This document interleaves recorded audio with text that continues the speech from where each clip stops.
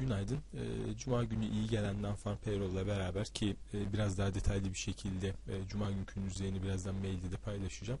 E, piyasalar e, kuvvetli bir yukarı yaptı. Nihayet S&P tarafında da neredeyse en yüksek bir kapanış seviyesine geldik. Aslında isterseniz burada haftalık bazda baktığımızda şunu e, geri alırsak da e,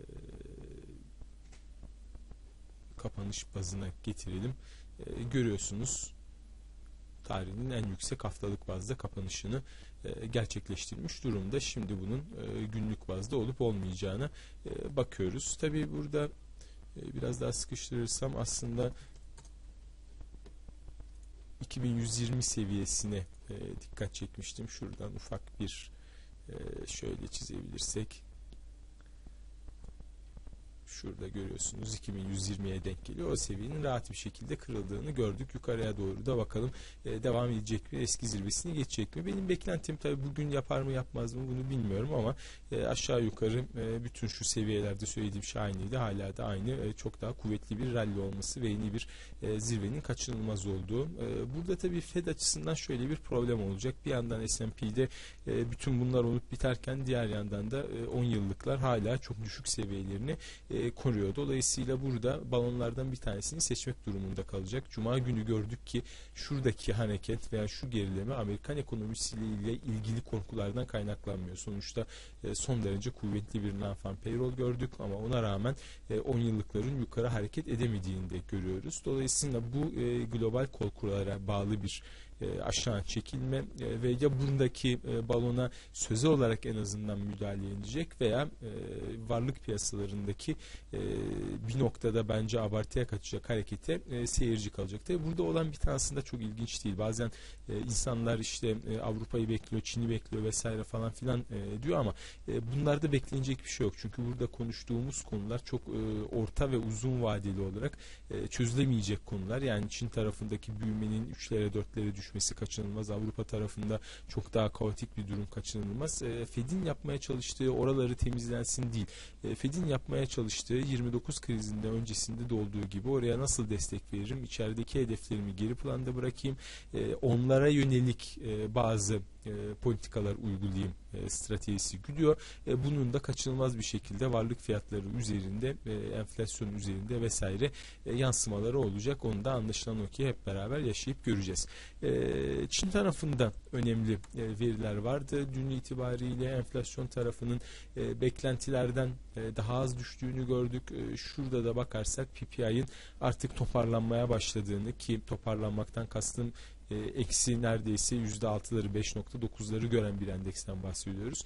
E, toparlanmaya başladığını gördük. Tabi bu bir yandan e, Bank of China'nın veya Çin hükümetinin e, daha e, az piyasaya destek vereceği anlamına geliyor ama e, diğer yandan da şuradaki e, büyümeyi görmemiz lazım. Burada e, biliyorsunuz her zaman söylüyorum e, eğer önemli paketler açılırsa biraz daha gecikmeli olarak ama e, söylendiği ve yapılmadığı gibi bir dengelenmeye oynanırsa e, bir stabilizasyon e, istihdamın kaydırılması, e, üretimin imalattan hizmetlere doğru kaydırılması gibi e, reformlar yapılırsa da daha hızlı bir şekilde e, yüzde üçlere dörtlere düşen bir e, büyüme oranı göreceğiz. E, bunun içeriği önemli olacak e, ama e, eğer şurada net bir yavaşlama görülmeye başlanırsa e, Bank of China'nın da müdahale etmesi gerekir diye düşünüyorum. İlk müdahale edeceği yer neresi olur?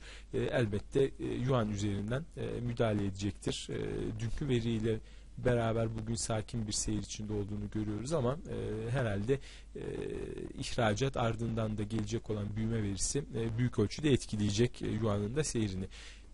Bugün Amerika'da e, gelecek olan herhangi bir e, veri yok. E, haftanın genelinde de bakarsak zannediyorum en önemli gelişme PPI tarafı olacaktır. E, vesaire var ama Fed açıklamaları sonrasında e, artık Bejbuk'ta e, çok fazla piyasaya etkileyebilecek kötümser bir beklenti olmadığı sürece veya kötümser bir raporlama olmadığı sürece e, etkili olmayacaktır. Ardından da tabii ki CPI önemli kalem olacak.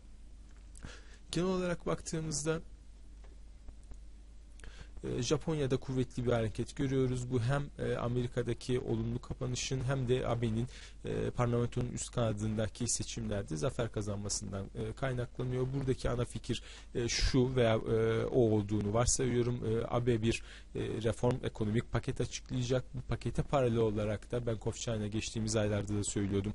Hareket etmesinin bir manası yok tek başına çünkü bu kez de eğer piyasada hayal kırıklığı yaratırsa etkinliği tamamen silinecekti. E, şu anda bu pakete paralel bir e, pakette boş tarafından gelecektir. Yani hem e, hükümetin açtığı mali paket hem e, parasal bazı gevşemeleri bir araya koyup piyasaya verecekler. Bu etkili olacak mı veya etkili olmasının son, son şansı. E, dolayısıyla piyasa burada e, yukarıya doğru bir e, toparlanma yapmaya çalışıyor. E, aslında isterseniz teknik olarak da e, makul yerlerdeyiz. Buradan yukarıya güzel bir hareket olabilir ama her zaman şunu söylüyorum. E, burada e, takip edilmesi gereken piyasa e, S&P e, dolar bazında da çünkü e, rallisini yapan e, S&P e, euro bazında da ralliyi yapan S&P bakın e, bunun altını hep çizerek söylüyorum. E, iki para birimi bazında da yukarıya gitmesi üç para birimi bazında da yukarıya gitmesi gözüküyor. Örneğin e, FTSE tarafı ki işte insanlar işte kesinlikle burada alınmaz vesaire deniliyordu. Hayır, e, pound bazında elbette ki kendisini adjust edecektir. Bunu Venezuela borsasına bile bakarsanız geçmiş tarihte görürsünüz. Ama e, dolar bazında baktığınızda e, çok daha zayıf bir halde olduğunu Brexit tepesinin çok daha altında olduğunu görebiliyorsunuz. E, bu basit bir e, ekonomik kuralı, bir devalüasyon tarzı harekette varlıklar hızlı bir şekilde adjust ederler. Bilenler parayı yaptı, bilmeyenler de spekülasyona devam eder ama şurada gördüğünüz hareket S&P'de yok. Neden? Çünkü S&P'deki rally reel bir rally. 2000 pardon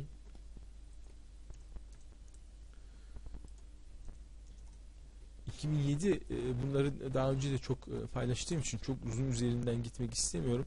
2007 e, dönemine baktığınızda yeni zirveler oluşmuyordu. Yani 2000 seviyesinin üzerine doğru giden hareket aslında çok daha zayıf bir hareketti. Euro bazında baktığınızda böyle bir hareketin veya İsviçre frangı bazında baktığınızda böyle bir hareketin olmadığını görüyordunuz. Şu anda ise tam aksine her para birimi cinsinden yukarıya giden bir e, S&P vardı 2013, 2014, 2015'te. Şu anda da yine benzer bir gidişat göreceğiz. Bütün para birimleri cinsinde S&P yeni zirveler yapacak diye düşünüyorum. Bu gerçek bir boğa piyasasıdır. Diğer para sadece lokal para birimi bazında çıkan bir piyasa gerçek değildir. E, buradan pariteleri hemen e, dönelim. Euro tarafı Cuma günü gelen verilerle biraz satış yedi. Hala da trend desteğinin altında.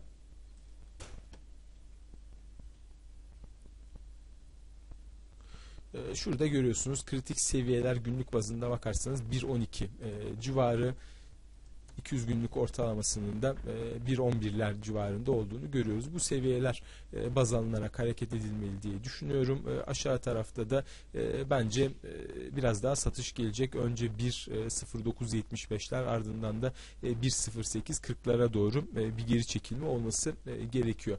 E, ama CFTC tarafındaki verilere baktığımızda burada çok abartılı bir e, şunu açarsak long veya short olmadığını görüyoruz. Rekor seviyelerin çok daha üzerinde. E, dolayısıyla piyasadaki bir tarafa yığılma e, durumu şu an için en azından euro dolar tarafında söz konusu değil. Spreadler tarafına e, da bakacağız ama görüyorsunuz opsiyonlar tarafında da önemli bir satış olmadığı hatta son dönemde alıcılı davrandığını görüyoruz opsiyonların. Dolayısıyla aşağı yönlü baskının e, henüz yeni dipler yaptıracak kadar artmadığını düşünüyorum. Keza Spread'in de durumuna baktığımızda benzer bir e, görüntü söz konusu. Aşağı dönmüş durumda ama e, yeni dipler yaptıracak kadar e, büyük bir baskının da olmadığını görüyoruz. Japon yen tarafına hemen gelelim. Japon yeninde e, piyasanın beklediği zaten 100 seviyesinin altında e, bir müdahale e, geleceği. Dolayısıyla bu seviyelerden e, uzak durmaya çalışıyor. Cuma günü önemliydi çünkü Cuma günü eğer zayıf bir non-farm gelseydi o zaman Boj tehdidi ortadan kalkmış olacaktı. Zayıf Amerikan verisine karşı çok fazla savunmak istemeyecektir e,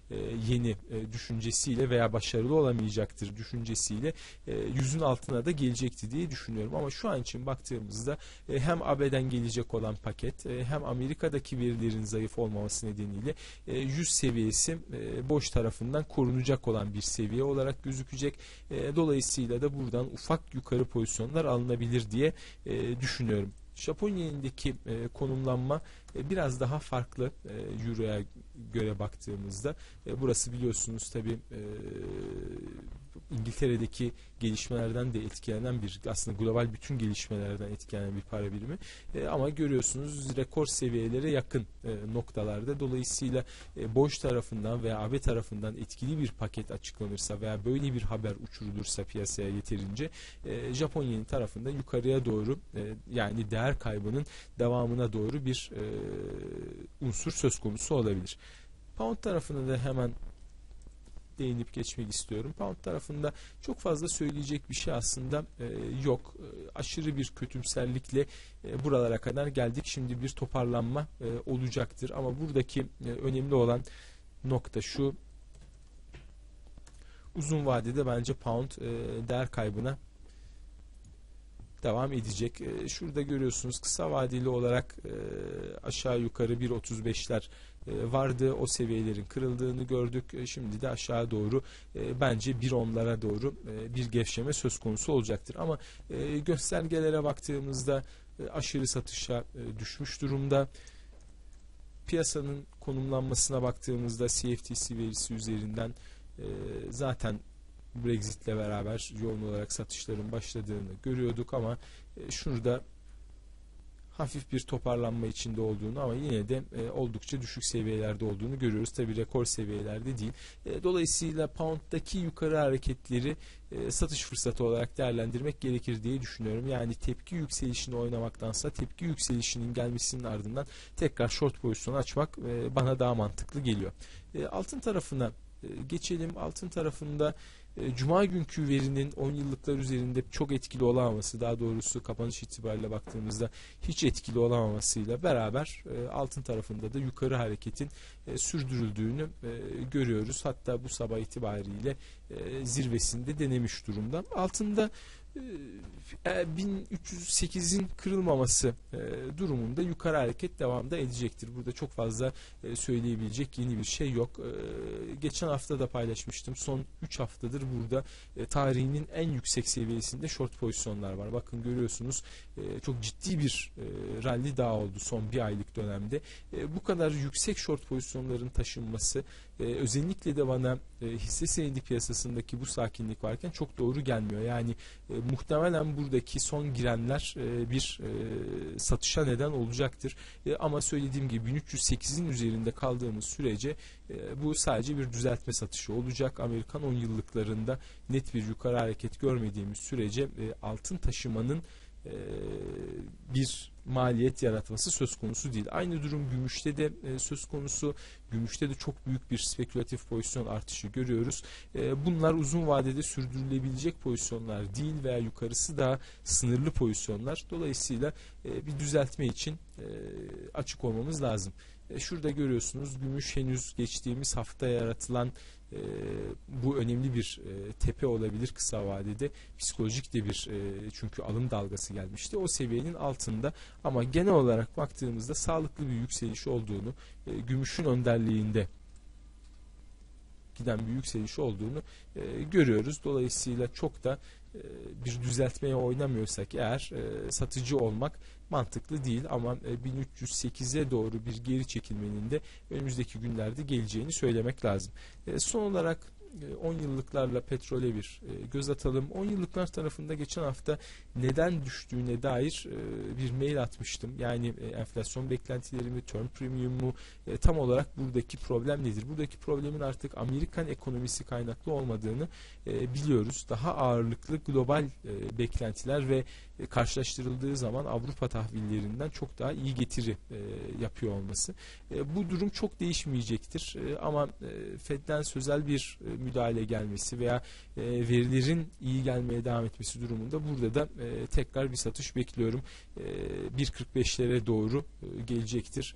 Asıl e, ciddi anlamda buradaki yükselişin başladığını söylemek içinse 1.65 seviyelerinin e, aşılması lazım ki e, şu an için baktığımızda çok da öyle bir durum söz konusu gözükmüyor. Tabi Avrupa tarafında özellikle İtalyan bankacılığıyla ilgili 29'undaki e, stres testinden önce bir toparlanma gelebilirse, bir karar alınabilirse o zaman Amerikan 10 yıllıklarında da biraz daha toparlanma olacaktır. E, WTI tarafına geçelim. WTI tarafında ve e, Brent'te de aynı durum e, söz konusu. Zaten bu seviyelerin çok fazla aşılamayacağını konuşmuştuk. Aşılması için gerekli bir ekonomik ortamda e, yok. Şu an için baktığımızda 200 günlük ortalama e, bir e, destek olabilir kısa vadede. Buradan ufak tepki hareketleri görebiliriz ama ağırlıklı olarak Çin tarafından gelecek olan veri ve yine önümüz geçtiğimiz hafta paylaşmıştım. Çin'in stratejik rezervlerinin doluyor olması oldukça ciddi bir problem aslında. Burada geçen cuma günü paylaştığım durumu tekrar paylaşmak istiyorum. Aslında petrolün kendi fiyatından ziyade e, spreadinde de bir trade fırsatı var gibi gözüküyor. E, bakın spread ciddi anlamda e, açılmaya başlamış durumda. Özellikle şunu biraz daha geriye alabilirsek eğer e, görüyorsunuz tarihi yüksek seviyelere doğru e, spread yaklaşıyor. Şurada da henüz 3 e, standart sapmaya kaçmış değiliz ama e, biraz abartılı diyebileceğimiz e, seviyelere doğru e, geliyor bu spread. Dolayısıyla e, doğrudan petrole pozisyon almak yerine e, WTI'da veya Brent'te. Brent'te de aynı durum söz konusu çünkü. E, 2016-2017 Aralık spreadinin daralacağına yönelik bir pozisyonda e, alınabilir. E, o tarafı takip etmek lazım. Hemen şimdi demiyorum ama e, istatistiki olarak abartılı seviyelere gelmek üzere. Herkese iyi haftalar diliyorum.